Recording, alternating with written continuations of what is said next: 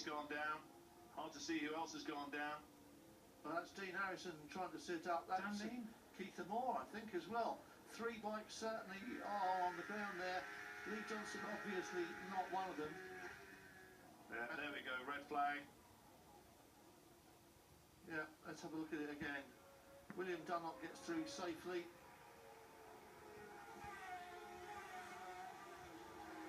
You can hear it happening, can't you? It's Dean Harrison, Keith Amor and, and Dan Kneen running into each other.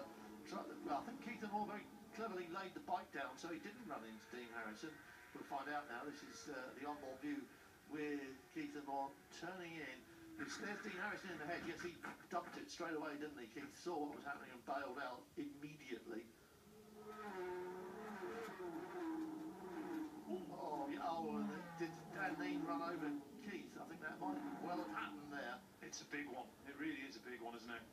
Helicopter view of it. You can see how wet it is. It was a wet race. That went in hard, didn't it? Yes, and they, was, they were full on the throttle going for it for the run up the hill. Because that's what you want. Lee Johnston looking back at it. Yeah, Keith Amor definitely jumped off. Yeah, it looks like, um, I think maybe Dean Harrison's front just tucks. I mean, when your front tucks, that's it. The back, when the back wheel goes, if the back wheel starts to move, you can save a back wheel, but you can't save a front, can you? And he thought the man in front of him was just going to lose the back end, and he just tried to pick it up and get out of it, and he couldn't.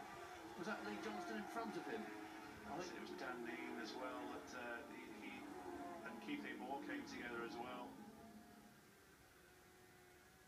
Yeah, the front. Yes, you've got no answer for the front going down as Keith lies it down. Couldn't get that turn around, could he?